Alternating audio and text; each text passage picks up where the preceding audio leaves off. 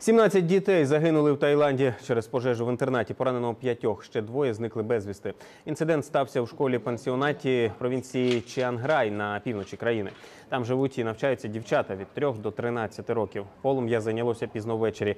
Рятувальники намагалися загасити його протягом трьох годин. Причини загоряння з'ясовують.